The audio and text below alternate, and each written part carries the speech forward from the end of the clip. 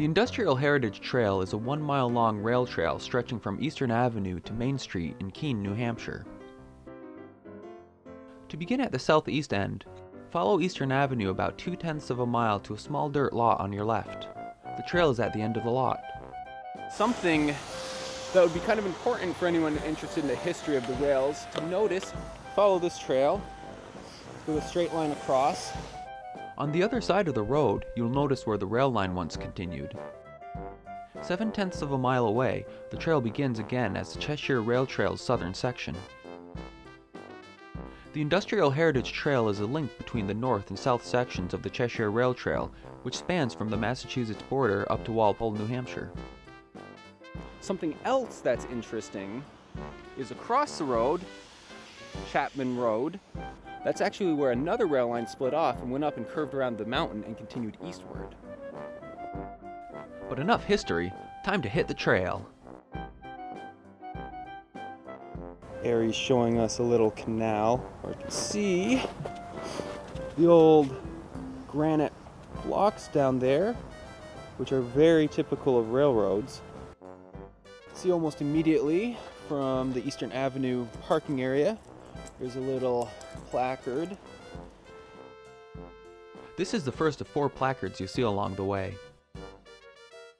And even though it's winter and there's snow all around, I'm sure you'll notice that the trail itself is well maintained. The entire length of the trail is asphalt, and as you can see, it is plowed. So it can be used year round.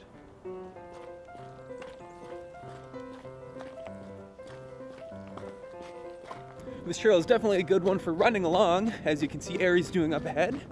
Uh, just be a little bit careful though, especially on days like this. It's a little cold and a little misty, so it gets kind of slick. That little girl loves the snow. Yes, she does. Whoop. You see as you go along, there's another placard, Contemporary Industry. Always kind of interesting to stop and read them, find out the history that used to be around. Some of the buildings you pass by date back to the 1800s during this railroad's heyday. And you'll see here is the third placard.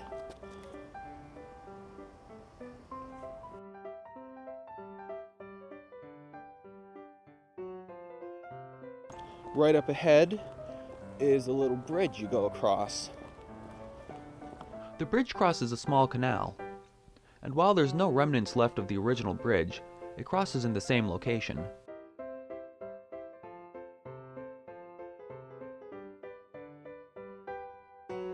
Immediately after the bridge, you'll cross Water Street. On the other side, you'll spot a basketball court, followed by a vacant lot leading to some buildings.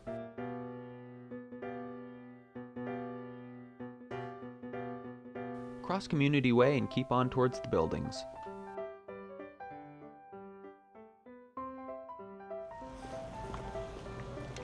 Uh-oh, looks like there's some construction up ahead. The day Aries and I were on the trail, they were building what looks to be a courtyard of some type. So you come up the trail here, and uh-oh, sidewalk closed, detour. Gotta go around. But right on the other side, see actually where that person's walking right now is where the trail continues. So it's a quick detour up to Railroad Street, around the motel, and we're back on track. And here we are on the other side. As you can see, we were right over there.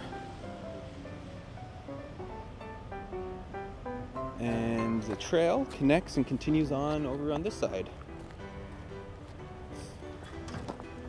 And here is the fourth placard for the Industrial Heritage Trail. So for anybody interested in starting from this side of the trail, you can see there's parking along the street, though it is metered. And here we are at the corner of Railroad Street and Main Street in Keene, which is where the Industrial Heritage Trail officially ends. If you want to continue on, you can keep going across the street over there which is part of the Cheshire Rail system or part of the Cheshire Rail Trail. But if you're looking for just a quick little hike or bike ride, or maybe even a trail that you can start at one end, go into town, stop, get a bite somewhere, and then turn around and head back, the Industrial Heritage Trail may be for you.